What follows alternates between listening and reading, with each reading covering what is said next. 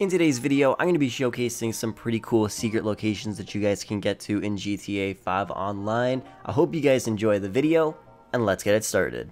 One of my personal favorites is the rooftop rumble one. You guys can climb on top of this wall right here and walk forward with a gun and start spamming jump on your controller or on PC and make your way up inside the roof. One of the best parts is you could fully shoot right through the roof onto the ground right below you. Now you can do it anywhere below you which is awesome. The downside is you can't shoot out of any of the walls. You can shoot out of the roof and there is one wall that you're actually able to shoot out of. As you guys can see I'm not able to shoot to the wall right here, which does suck. But if you make your way over to the left side of the actual garage and you jump right over here, you'll be able to shoot out anything that you want inside of this garage, which is pretty awesome. It's honestly one of my favorite secret locations to go to because if you have a wanted level, you could literally go up here and just kill every single cop that comes near you. And it's really, really fun to do. You should definitely try it out. And you can also do this in the actual rooftop rumble mission. It's just, it would be very, very hard to pull this off considering all of the enemies are right below you, so that would kind of be a little challenging, but if you're already up here, then maybe try starting the mission while you guys are up inside of the roof, and then you might actually end up spawning up here when you guys start the mission, and then you can kill everybody right away. By the way, if you guys play any of the games shown on screen, be sure to check out DigiZani down below in the description and get 10% off anything you order by using code FROLICKZ. Next up is going to be the Tinsel Tower secret location. Now there's like three different things you could do inside this building, which I really like. First thing you need to do though is get an insurgent, park it right here, and get a streetcar and park it right in front of it, then jump and fall in between the wall and the actual insurgent, and if you guys do it correctly, eventually you'll get pulled up inside the building. The best way to do it is to make sure you fall towards the wall, and then you guys will be good, just like how I did here, and you guys can see I'll be pulled straight up. Now that I'm actually up here, you guys want to just run over here. Now, if you run straight to that platform, you'll be able to go into some like god mode area and kill everybody, but this is for secret locations. What you guys want to do now is actually jump and pull your parachute right away because you can get to a secret apartment underneath the map. Now right away you won't actually fall. If you keep walking forward though you'll end up actually falling. Just pull your parachute right away and then just start casually going down slower and slower and just hold it up so you're actually going super, super slow while you're parachuting under the map, and eventually you'll end up seeing an apartment in the distance.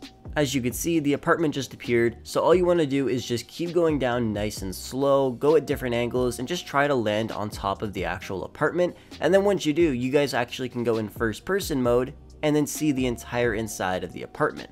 Now this is actually one of the apartments in the game, so if any of your friends own this apartment, you might be able to see them walking around inside. I'm not 100% sure about that, I've never tried it, but it is one of the apartments in the game, and I believe that is the reason why it's here. So if you guys wanted to, you could try to do that. Now the downside is you can't actually go and walk around inside the apartment, you can use your guns on top of it, and be careful if you guys walk over to right where I am and you fall down here, there is no way for you guys to actually get back up on top of the apartment unless you use the Up-n-Atomizer and get lucky. But of course, the only way you can actually get out of this area is if you just jump off the side of the map and then you will fall to your death, but not really because you'll just be teleported back up to the top. The second secret location, or the third secret location in Tinsel Towers, is if you do the exact same thing, like I said, you can get behind the glass doors right here. All you guys want to do is just aim your gun and then just kind of walk into it and try not to fall off because where you guys see the actual stone end, that is where the stone ends. So if you guys were to actually walk back any further, you'll fall off the map again. But now you guys are inside of here, you could shoot out of the glass if you wanted to. I'm not sure if you can be killed, you most likely can be. It's not a god mode thing or anything like that, but it's just pretty cool because you're behind the glass doors and everybody else is going to be like, how the hell did you do that? For the next few that we're going to be talking about, you will need to break the back door of the Insurgent off. Now, I'm not sure if I share the location of where this is, but if you guys don't know how to do this, all you need to do is just search up how to break the back door off the Insurgent on YouTube and you'll find a video on how to do it. It's pretty easy. But once you guys do do this, all you want to do is come to this location and pretty much just jump into the door from this staircase. And eventually, after you do this a few times, the door will just pop open. Then from that point, you guys actually need to drive the insurgent forward a little bit and then shoot the door off with an assault shotgun or an assault rifle or something like that so the door fully pops off of the vehicle. The reason why we have to do this is so we can access some pretty cool locations. You can access a bunch of spots by doing this. So one of the first ones that we're going to be going into is this really cool one that we used to go into on PS3 that is now no longer working, but if you guys take the back door up the Insurgent, you're able to do it.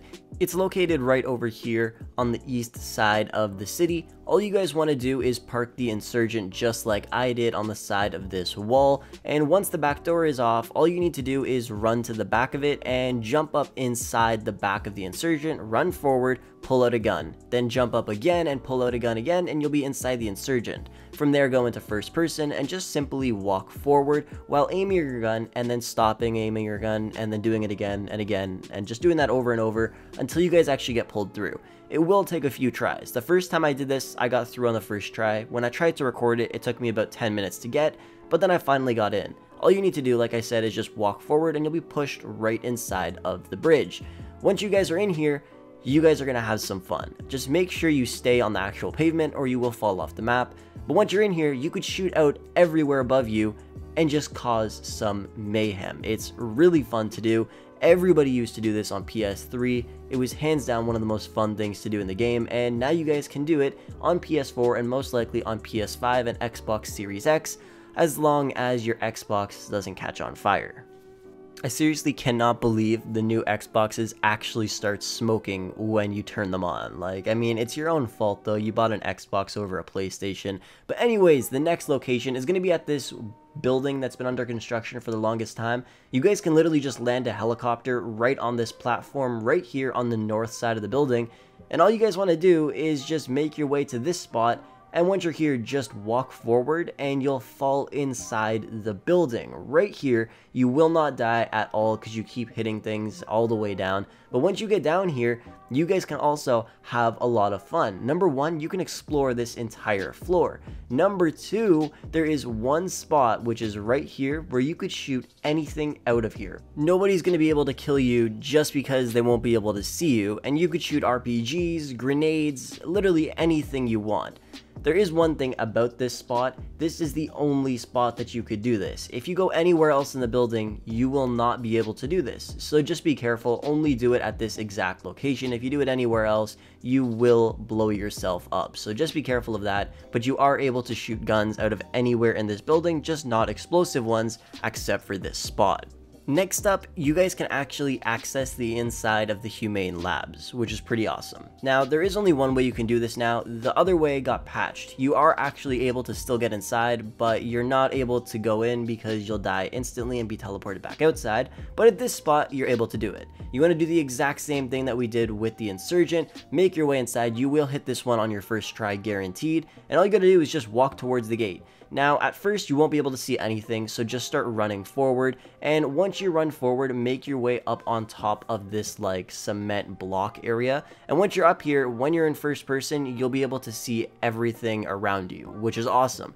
And then you can go and explore the entire Humane Labs. Now, this is the part that you would see, I believe, in about half of the heist, I think, but the other part that you would see where you're actually in like the sewer that goes out to the ocean, you're not able to access that. They did actually patch that. You could still get into the location, but the second you get there, you'll be teleported out, which sucks. But you can actually go and explore the entire Humane Labs, and I thought it was pretty cool. This next one, you will need a Deluxo or an Oppressor. Make your way over to the west side of the map, and come on over to this suburban clothing store. Go and grab your Deluxo, put it in hover mode, or grab your Oppressor, and just fly up inside the roof. And once you get up here, all you want to do is turn off hover mode and just drive forward. You will fall through the building, and when you do that, then turn hover mode back on, and then you can fly around underneath the map. Now, there is a downside to doing this. If you do this for too long, you will automatically die. If you go too far into the city, you will automatically die. If you go anywhere where there is water, you will automatically destroy the vehicle and you'll be teleported back up to the top of the map. So just be careful not to drive into the water or into any pools like I did right there because you could see my personal vehicle got destroyed. Now I'm not going to go over everything you can explore because you're under the map. You can explore pretty much anything you want as long as it's in a specific area. Like I said, if you go too far into the city, you guys won't be able to do anything. You'll just die instantly. And if you guys actually start up a mission like a Titan of a job, you'll be able to go anywhere you want, which is pretty awesome. But like I said, you're under the map and in free mode, you can pretty much go to a lot of places. Like you guys saw, I just went inside of that sewer thing. And of course, if you guys make your way over to like a beach area or something like that, literally just drive straight into the water. Don't try to land on top of the water. I've tried that a million times and literally every single time I did it, I got pulled straight back up onto the top of the map. It's very annoying. So just fly or drive straight into the water, climb out of the vehicle, and then swim up and you'll be underneath the beach. And if you go forward enough and tell your friends to come and see you, they will just see your head sticking out of the actual sand, which is pretty awesome. So you guys can really have some fun and mess around with this. And honestly, it doesn't really matter where you guys go into the beach area. Another cool thing is if you actually call a boat pickup, they will actually be spawned underneath the sand as well. So then you guys can just get inside of there and have some fun and drive around in a boat underneath the water or on the water underneath the sand at literally every single beach across the map. Next up, you guys are going to want to make your way over to the FIB building right here at this exact spot. Once you're here, grab an oppressor or a deluxo or a buzzard, make your way over here and fly straight up inside of the building. Now, this used to be so awesome because in free mode, you could do this and you wouldn't die instantly. But if you guys are in free mode, what'll end up happening is you will literally die instantly. If you try to fly up inside the FIB building, you'll either hit an elevator shaft and get stuck in there, like I did right here. But if that happens, just fly straight back down, like literally hold R1 and you'll go back down to the ground. And the other downside is if you try to go underneath the map, then you guys will just die instantly, which is one of the worst parts about this. But lucky for you guys, there is a way to bypass this. The only downside is you cannot be in free mode. So if you guys did want to do this, you're to need to start up the mission A Titan of a Job, or pretty much any mission in the entire game, that lets you just spawn right where you were. So I would just suggest starting up a Titan of a job like I did, and then do the exact same thing again. Just make your way up inside the building, and then just go down onto the ground, and then you guys can go and teleport, or not teleport, visit any location you want to. There is so many places you can go, so go and explore around the map. If I were to tell you guys every single one, this video would be over 2 hours long. But of course I am going to show you guys some of them, like for instance the Pacific Standard Bank. There is a vault inside of this bank and if you guys just fly in the correct spot, you'll be able to see the vault. And all you need to do is fly inside of there and then you guys just need to shoot a gun at the door or kick it and it'll just open right up. The best part about this spot is you could just hop back on your oppressor or in your deluxo and then just leave without any issues. The walls won't stop you or anything like that.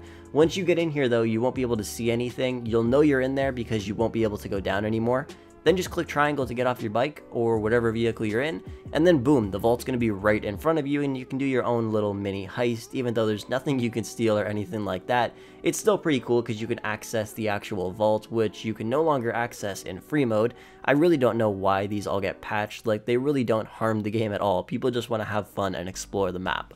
Another really cool one is the Bahama Mamas nightclub. You guys can easily get into this spot too. All you need to do is make your way over to the actual location of where it is and then just fly up inside the building. Just be careful not to click triangle too early. You guys just want to gas it straight into this building and fall off your bike, so then you guys can just be in here and chill. The best part is you can get in here with your friends if they're in the mission with you as well. There is no way to do it in free mode because by the time you get to where it is once you're underneath the map, you will not be able to get there because you're just going to be dead already because that's the way free mode works. But it does kind of suck that you have to do it in a mission, but it is still cool if you guys have never explored it. Go take a look, and there is countless other locations that you guys can go and find. So start up the mission. There's no time limit or anything like that. Go around the map, try to find some cool stuff. There's a comedy club near the police station. You can actually access the inside of the police station as well, and a bunch of other places. Go check them out. There's so many places you can go and explore. Making our way towards the end of the video, if you guys do enjoy it, be sure to drop a like on it and subscribe if you are new to the channel. For one of the last ones we're going to be taking a look at, it's going to be the inside of Franklin's house. It's pretty simple to get into. Make your way over to his house and stand right here so you can see yourself in the mirror. Once you do that, go into the pause menu, go to play jobs, Rockstar created, missions, start up a titan of a job, and then once you actually load into the actual confirm settings screen, just back out of the job and you'll notice you're on the other side of the glass and you're inside his house. One way you can know this works is if you can actually see the inside of the house in the job startup screen, and then you guys know you did it correctly because now you're inside and you can go and explore Franklin's house if you guys have never done it before. And finally, the last one in this video is going to be located right here near the Tinsel Towers apartment building. Just land on top of it, but because it's GTA, some dumbass shit will happen and you'll fall off the side of the building. If that happens, just go and grab a car and climb up the side like I'm doing right here, and then just climb up the ladder, and once you do that, make your way to the top of the building, and you'll see a little pine cone shaped, or not pine cone shaped, a cone shaped little building thing, and once you're there, all you need to do is take out a gun aim and then jump on top of it. And once you do that, you'll be able to actually go inside, which is pretty cool. This has been working for the longest time, and it's one of the coolest things to do because, number one, some really soothing music plays because you're at this specific location. I'm not sure why that happens, but once you're in here, Nobody can kill you. Nobody will know where you are. You're fully invincible and you can literally shoot out of every square inch of this spot. And if you wanted to exit this area, all you need to do is just walk backwards and get back on your oppressor or whatever vehicle you have or just jump off and pull your parachute and then you guys can have some fun. Anyways, that is going to wrap up the video for today. I apologize for making it so long, but I hope you did enjoy it. If you do want to see more secret locations, be sure to drop a like on the video, subscribe if you're new to the channel, and I will catch you guys in the next one.